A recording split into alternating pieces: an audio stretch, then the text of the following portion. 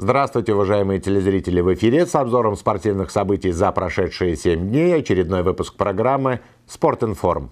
Футболисты Борисовского «Батэ» за три тура до финиша национального розыгрыша стали недосягаемыми для соперников. Свой 12-й чемпионский титул борисовчане оформили в поединке против футбольного клуба «Витебск», где одержали победу со счетом 2-0.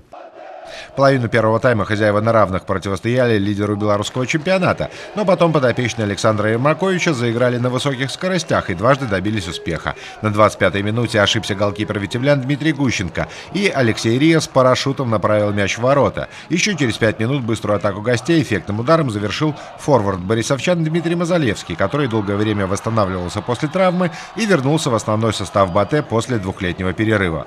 Во второй половине матча хозяева очень хотели забить хотя хотя бы гол престижа, но борисовчане действовали спокойно и без проблем сохранили победный результат, который принес им заслуженный чемпионский кубок.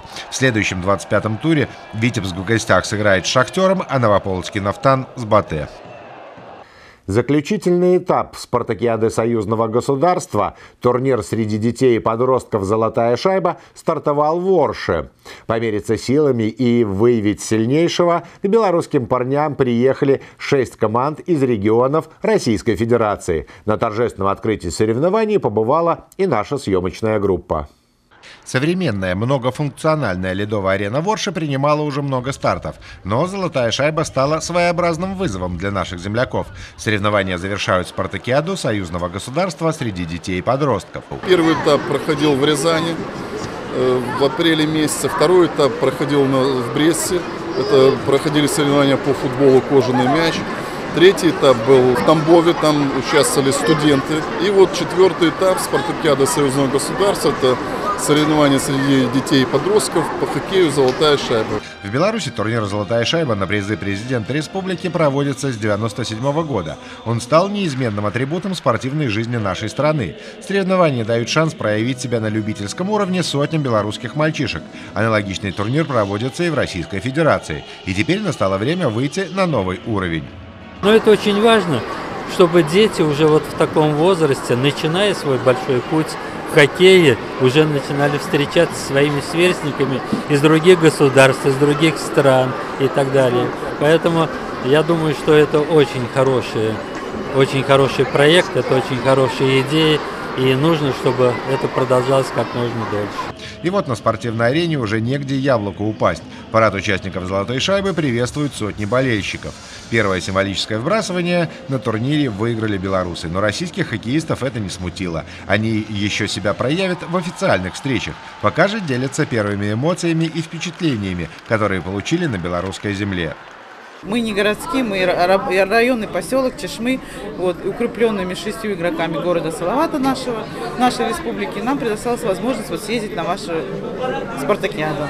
Вот первый раз. Дети, конечно, очень счастливые, довольные. Вот, дорога дальняя, трудная, но зато с удовольствием мы все сюда приехали. Золотая шайба – это ответственный турнир, высокий уровень. И тут собираются лучшие команды. На золотых шайбах я участвовал. Почти на всех кроме предыдущих. Этот раз уже третий. Впереди команда ждет настоящий хоккейный марафон. Участники спартакиады союзного государства узнают и радость побед, и горечь поражений.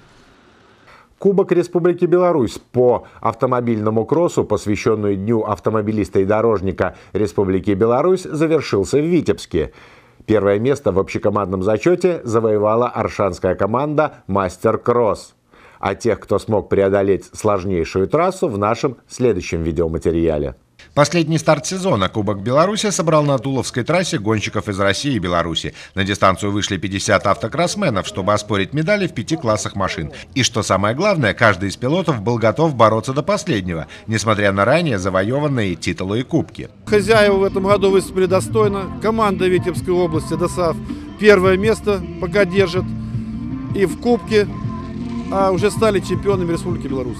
Наш юниор впервые стал победителем первенства по автомобильному кроссу. Аршанцы достойно выступают, ну и витебские гонщики. Уже несколько лет подряд по многочисленным просьбам автомобильный кубок проходит на неделю раньше обычного. Погода представляет спортсменам шикарные условия для соревнований. Несмотря на насыщенный сложными стартами сезон, лидеры приезжают в Витебск поспорить за почетный трофей, а неудачники по итогам чемпионата пытаются громко грохнуть дверью на последнем старте сезона. Как, например, витебрянин Алексей Корсаков, у которого чемпионат не задался с самой первой гонки. У меня чемпионат вообще не получился в первую гонку в Витебске в начале. Я сгорел здесь, то бишь, горела машина, восстанавливался потихоньку. Ну, как бы за счет этого, за пропусков соревнований, получилось, что где-то внизу таблицы получил. Какую выбрать тактику и стратегию, как сохранить машину и в то же время максимально быстро преодолеть дистанцию. Механики деловито колдовали над машинами, а вот на лицах гонщиков было неподдельное волнение. Песчаная трасса – испытание для любого спортсмена. И тут одна ошибка может стоить кубка. Последняя гонка, ну да, как бы всегда езда с головой, то есть нет такого, там, чтобы до последнего, то есть, ну, Бороться будем, противники достойны. Трасса, она мягкая, но довольно проходимая и очень, по геометрии очень интересная машины, как бы, но непонятно, лучше не загадывать. Борьба на трассе шла до последних метров. Техника не выдерживала, горели сцепления, машины зарывались в песок.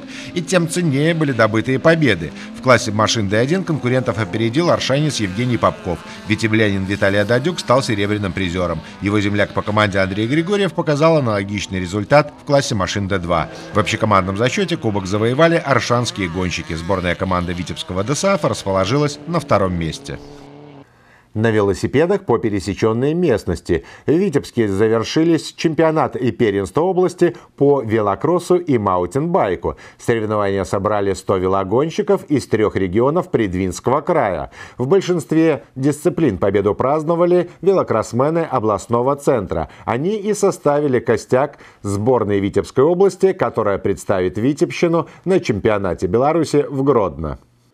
Летом гонки на асфальте, осенью по пересеченной местности. Для велосипедистов это обычная практика. На этот раз соревнования велокроссменов проходили на трассе в районе Лучосы. Дистанция была максимально сложной. Высокие подъемы, затяжные спуски, заболоченные участки.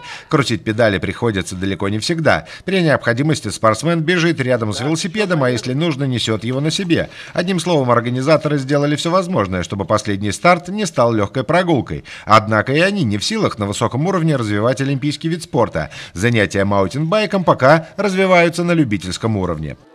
Отсутствие велосипедов говорит о том, что все участвуют на своих велосипедах. Все дети, кто купил, кто родители, кто одолжил в магазине покататься, вот так вот.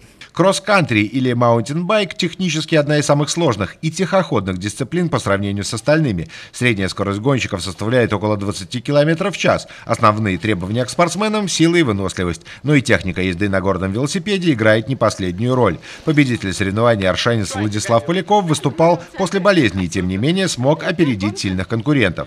Маунтинбайк совсем другая подготовка в ней уже не схитришь, не посидишь нигде, не подэкономишься. Чисто за счет хода и подготовки. Лидер женской команды Анна Максимова спортсменка разносторонняя. Кроме велосипеда, она занимается триатлоном. Опыт, добытый на международных стартах, помогает побеждать и в сложных гонках. Размышляя о развитии маутинбайка в стране, девушка отметила, в чем отечественные спортсмены уступают зарубежным. Давно все уже хорошие профессиональные велосипедисты перешли уже на карбоновые байки, то есть облегченные колеса. У них уже велосипед, э, байк весит точно так же, как и шоссейный, например, килограмм 8, то есть 8-9. То есть, например, мой весит примерно килограмм 10-11. То есть это, ну, тяжеловато, конечно. Если байк полегче, то, конечно, и легче ездится в гору. Результаты велокросса также сюрпризов не преподнесли. Победу праздновали лидеры сборной Вадим Старикович и Александра Смирнова. И на этом на сегодня все. Я с вами прощаюсь. Будьте здоровы и до следующих встреч в эфире.